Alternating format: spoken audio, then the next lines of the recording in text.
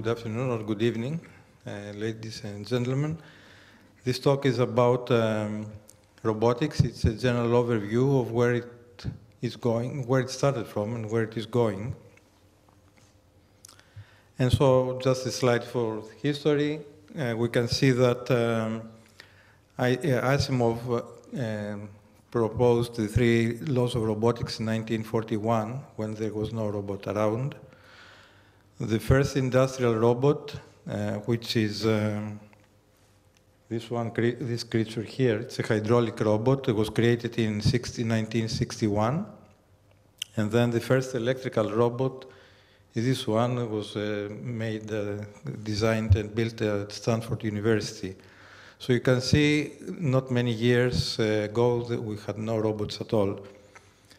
Um, also, there is a question of, about what is a robot.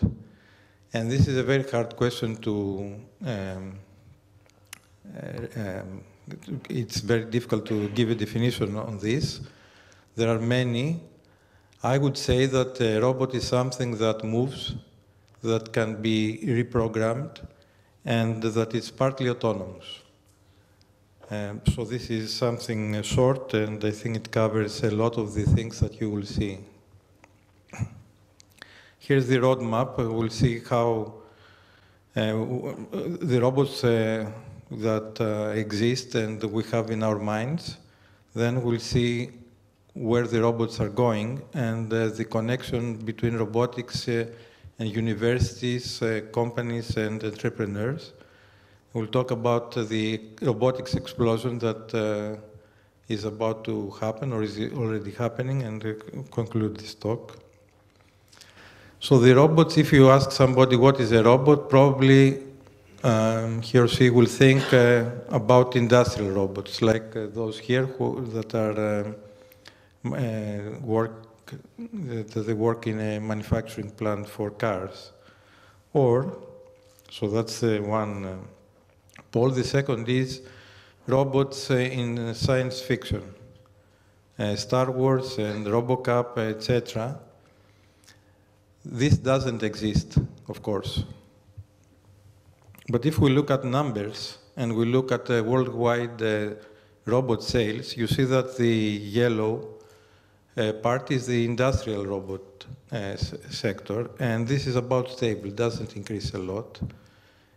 And it's very small compared to the blue part, which uh, increases uh, drastically and dramatically. And this, is, this includes this, what is called service robots. So industrial robots and service robots. So the robots, as they turn out to be, uh, are very different from the simple um, picture of an industrial robot assembling in a plant. And we can divide those service robots into categories, the professional and the domestic ones. Professional ones, we can say that are, these are robots which uh, are dedicated to terrestrial applications, aerial, underwater, space, defense, and medical. Whereas the domestic are related to, uh, these are robots related to our own lives and to the mass market. And would say in, uh, we include here robots that are dedicated to the care for the elders, housekeeping robots, friends, in quotation marks, toys and entertainment and educational robots. So the explosion of these service robots is fueled by new needs. And um, some of them include the fact that uh, we want robots to do things that we don't want to do. And we don't want to do dirty jobs like uh, clear, clearing, cleaning up a nuclear site, contaminated site like the one in Japan. And we don't want to do dull works, uh, assembling parts, uh, the same part every day for a year and so. We don't want to do dangerous works, like those that are found in underwater, the underwater environment or the space environment, and probably some of you have seen Gravity, and you know what I mean. And uh, distant uh, um, jobs that uh, distance may include uh, distances in space, so that uh, somebody is on the moon or the Mars, or um, uh, telemedicine uh, um, requirements where you, you have a soldier in the battlefield and uh, the surgeon is somewhere else and uh, there should be an operation. Otherwise, you, you, you, the person will lose his, his or her life. Um, so in more detail, we can have also uh, expanded uh, needs in security and defense. And you know, you, we all have heard about the drones uh, uh picking up specific targets, or security in securing buildings uh, or um, warehouses and so on. Then a big sector is the ed education and the entertainment sector, and we'll see some examples. Today's society is very different from uh, society, say, 40 years ago. Everybody is more educated and is uh, more close to high, the high tech. It's uh, the aging society, uh, mostly in Japan, because the Japanese are very keen to see robotics in their houses. Western societies, except Japan, is not, but this is changing. And uh, another uh, need is the, that um, is related to manufacturing. Uh, a lot of manufacturing moves to China and to the East, but there is a, a need for bringing back some of that manufacturing, and this uh, can be this uh, need can be fulfilled by having uh, better and uh, more flexible robots that can do this work at home. So here I have uh, a few pictures uh, of uh, service robots. Here we see a cleaning robot at the nuclear site carrying contaminated material. This is a forestry robot that I worked with when I was at McGill. This is a mining robot. Uh, and here we have a hexapod that runs. This is uh, by Boston Dynamics. I haven't added uh, videos, but uh, we saw some very interesting videos at the beginning of this session. Uh, this is again Boston Dynamics. It's a, quadruped carrying it's like a mule. And this is a, a robot in our lab, also quadruped, but very small with a minimum number of uh, motors so that it doesn't uh, use all the energy that this one is using, or this one. Um, these also are professional robots uh, from the aerial, space, and underwater uh, areas. And we can see here an ROV that has two manipulators and is remotely controlled by cable from a ship to do work uh, uh, in, space, in uh, underwater structures. And this is a small underwater robot that we have in the lab. Again, an ROV with a cable. This is an AUV, it's an autonomous uh, underwater vehicle which looks like a torpedo. And these pictures are from an expedition with MIT Elkethe and uh, archaeologists in Greece, and uh, of course us, at the Nisiros a few years ago.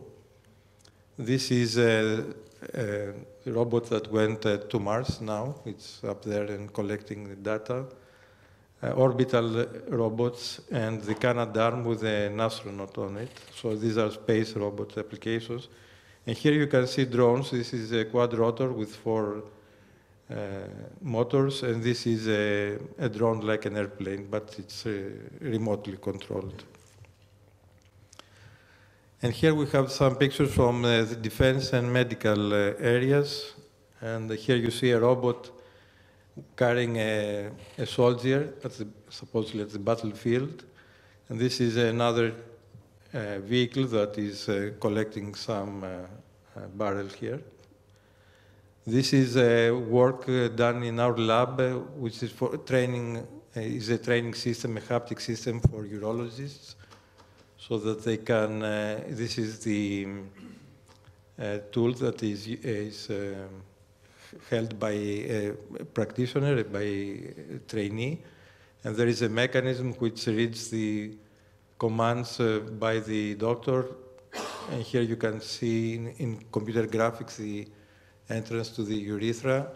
And if the, the trainee is not doing his, his job well, then uh, he experiences uh, forces uh, on his hand and uh, adjusts the behavior so that uh, the, the, he learns the operation. And this is the famous Da Vinci robot operating and uh, th this is the robot, and uh, at some point it's probably here, although it can't be seen very well. There is a, uh, an MD with a, with a joystick controlling the robot. And here we have some domestic robots. perhaps the most famous is the Roomba, uh, which was created a few years ago by iRobot, and this one can clean the house and then recharge itself and uh, remove the dust from it. This is the this is Sony Zybo. Uh, it's a 20 degree of freedom, 20 motors, uh, small robot with uh, capabilities to communicate and to express itself. This is a robotic fish from my lab which is uh, autonomous in power and, com and, can communicate with the user and has a camera here in front so it can uh, send back feedback to the operator and there is a tail with which it moves. And this is the Morphex. It's, uh, it looks like a ball, but uh, if you see it running, then it opens up, it walks, it climbs, it uh, uh, dances, and so on. And here, the, the Asimo this little robot that we've seen uh, earlier in a video. This is a humanoid which can express feelings. This is the PR2, which is a robot uh, that can uh, be used uh, supposedly at home. It can uh, do the laundry and so on. And these are two mobile robots that we built for uh, Allou Fun Park two, three, three years ago and it's a chaser and uh, uh, the one chases the other and it's a, a, game for kids to learn to, how to cooperate and uh, to work with robots. Now if we look at where is the money, we can see that um, the, this, uh, is all, these are all the units uh, sold in 2008 and you can see that 99% uh, of the robots are in the domestic uh, category and just 1% in the professional one. But if we look at the value, then you can see that 99% comes from the professional category and only 1% from the domestic, which means that uh, there are few but expensive service robots. So most of the money comes for specific, special robots which are uh, sold to do um, professional work. And if we look at manufacturers and startups, these are, uh, this is a global map, and this is uh, Europe. And you can see the red dots, which are not very many, uh, are, uh, correspond to industrial robots. The blue to service robots, S is for professional, P for domestic, and the green ones for the startups. So you see it's mostly blue, and uh, of the blue mostly is S. And uh, in these maps, uh, we do not include the universities, which are, are, about 225, and all the integrator, designer companies and consultants and so on. In total, there are about uh, 2,200 companies in, in this uh, sector. Now, if we take a look at uh, robotics uh, uh, in connection, in conjunction to universities, we'll see that the field is dominated by academic research. It's knowledge intensive. And uh, it, it, it, requires knowledge for, from many fields. Uh, and these uh, typically are the electric, electrical engineering, mechanical engineering, computer science, but now even psychology, aesthetics, uh, design, and, and, other things that uh, I'm not listing here. So, and all these people have to collaborate and understand each other. And the, uh, if you are versed in more than one of these areas, it's the better off you are. Now, degrees in robotics take many years because of of the requirements.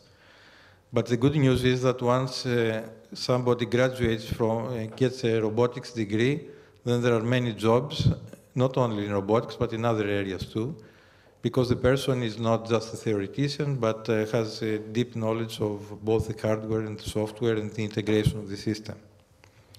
So that helps uh, to many of these people, especially abroad, but hopefully here too, start uh, startup companies or spin-offs.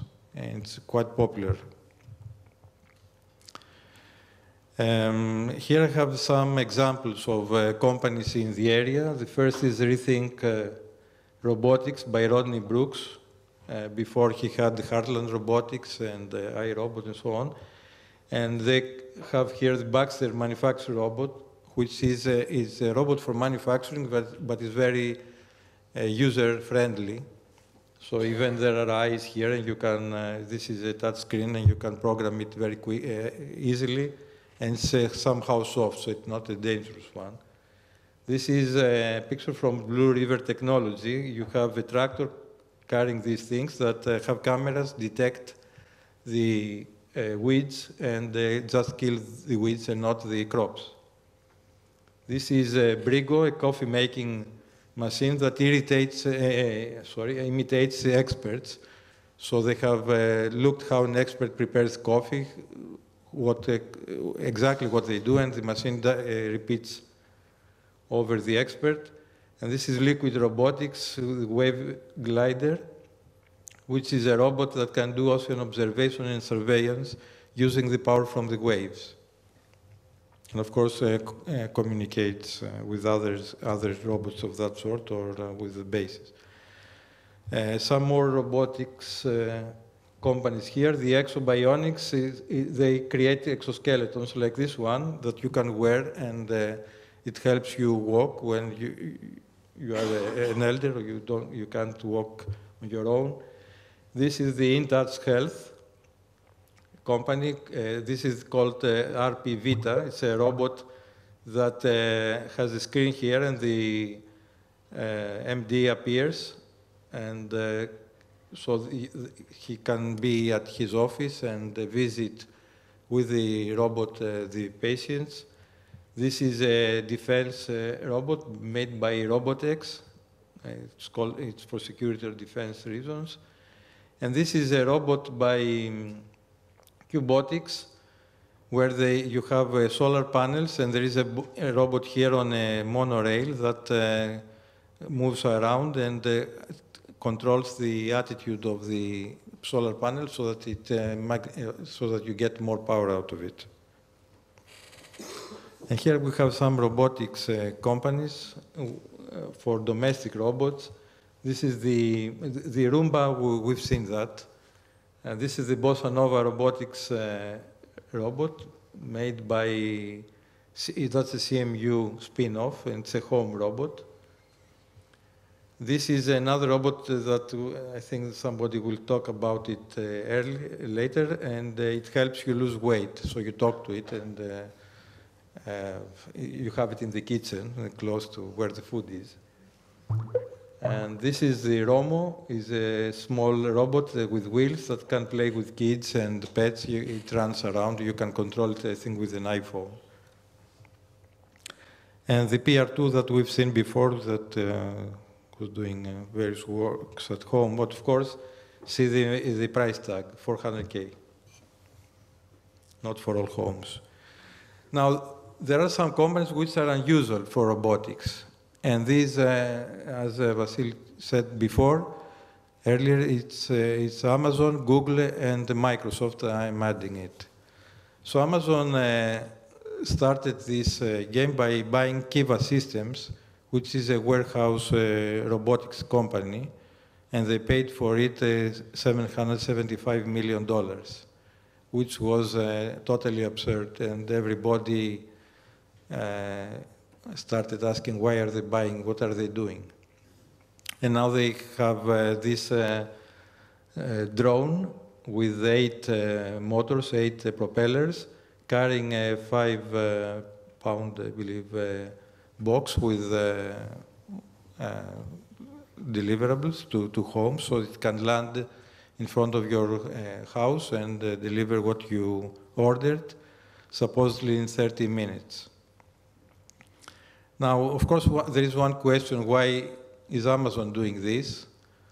I would say that uh, the answer is that uh, they try to uh, provide instant gratification to their customers, so that once you click and you place an order, very quickly this order is fulfilled and it's uh, in your hands. So that's a very powerful uh, marketing tool. And uh, supposedly they will increase their sales, but we'll see more ab about this uh, later. Uh, there is Google. Uh, Google had autonomous cars. If you have seen the movie Internship, you, you've seen the, what is going on in Google. That was okay, but they started buying robotics companies, and by the beginning of this month, they had uh, bought seven of them. And now, a few days earlier, they announced that they bought Boston Dynamics, and Google is interested in data and selling data to others and uh, getting profit from the marketing uh, that uh, services that it offers. So that's a guess, but we'll see. And then there is Microsoft, which uh, some, some time ago started also working in robotics. They do software toolkits for robot control and simulation. So I think they are interested in selling their software mostly, but uh, also now that the market is booming, they will have other uh, things in their mind. Uh, now, if we look at robotics and entrepreneurs, uh, we could say that the biggest problem is funding. Uh, there are companies uh, that are dedicated to funding to to, to fund robotics companies like Grishin Robotics. there is also True Ventures, which funds hardware startups. And then there is a crowdfunding, asking over the internet people to fund your own uh, work. And there is a group uh, that uh, builds a hexapod that can carry operators on top of it, and they are building this robot based on using crowdfunding. Now, the problem with the entrepreneurial work in robotics is that it's difficult to assess success or failure. And also, uh, the, uh, it's important to be ahead of the game. But if you're ahead of the game, the competition is uh, far behind because it takes years to, to create such a company and uh, do the work. And the good news also is that people still pay for hardware. They steal software, but they can't uh, steal hardware. So there is money to be made there. And this picture is from a young lady in Boston who is creating those robots and uh, selling them, and she's uh, an entrepreneur on her own. Now, the question is, uh, does uh, somebody want to start up, uh, to, to create a startup in robotics? Well, there are some uh, comments here about this. Uh, these companies are supposedly expensive uh, to fund. The, you need equipment, you need uh, uh, space, and so on. But it's not uh, so expensive as people believe. And that's why even university labs can do a lot of things with limited money. Of course, it takes a long time to have revenue. It's not so fast as when you have a software company. You write an app and you put it, uh, say, up for sale and you start collecting. It's a niche market. And uh, as I said, the, there is a lack of, for, uh, it's difficult to get investment. It's only 0.5% of the total investment goes to robotics. And they are at an early stage.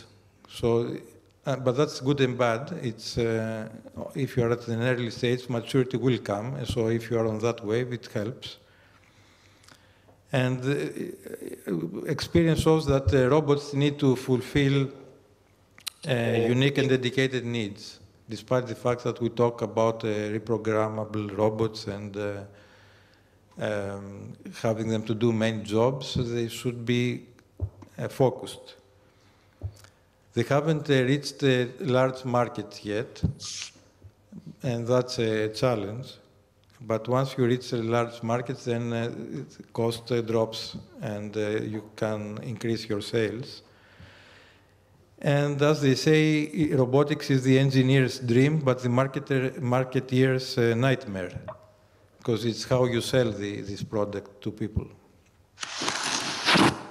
And uh, of course, as uh, the cost uh, is lowered, then you can easily access uh, mass markets, which is important.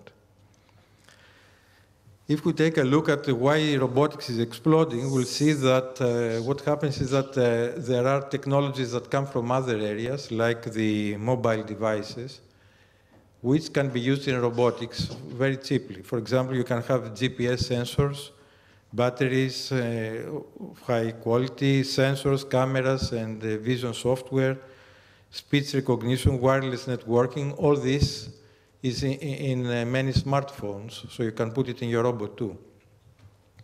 You have a lot of open source code, which is available and standard, and open source hardware that talks with that software. There are drivers that can connect uh, this hardware to other hardware. So this uh, helps uh, the path to mass uh, marketing robots. The technological challenges that are still with us, first of all, I would say is power, uh, batteries or fuel cells, because all these devices consume a lot of uh, power and they need to, uh, to replenish that. It's also actuators, motors, for example, we would need uh, more st uh, stronger magnets to have uh, stronger actuators and um, do the same work with less current, less power. it's also a matter of computational power, especially when you do vision or things that require intelligence, running algorithms. Uh, so that you can have better world perception, so that the robot knows where it is and what is uh, forbidden to it. And uh, also, there is always a need for better artificial intelligence algorithms and overall control algorithms for the robots. So we, we, can see here batteries, motors, and this is a PC104 that is used uh, to control uh, such robots, and the rest is the artificial intelligence part. So to conclude this talk, I would say that service robots is the future, and this future is already here. Uh, but we haven't seen the whole picture yet. And there are enabling technologies that uh, allow this to happen. Open source and uh, technologies from other areas will help. I would say that uh, robotics, uh, especially this year, is highlighted by these uh, acquisitions, by mostly by Amazon and uh, Google, and they give high visibility to the domain. And so that uh, allows robotics to penetrate into the business world and be taken more seriously. Now, robotics is exploding at this point. The, uh, the, the game is changing, and it's moving towards the mass markets and we'll see what happens if those who say that uh, the robotics uh, industry today is where the PC industry was in the early 80s. Uh, we'll see if this is true or not. And of course, there is a big challenge to Greek researchers and engineers to join this uh, uh, area, partly because robotics requires, uh, is in, knowledge intensive, and uh, this knowledge is here. We, we have people who are well trained and can do these things. The costs are not that high. Good ideas will help. And I guess some of you who are uh, here with us uh, are interested in this, and I wish you all the best. Thank you very much.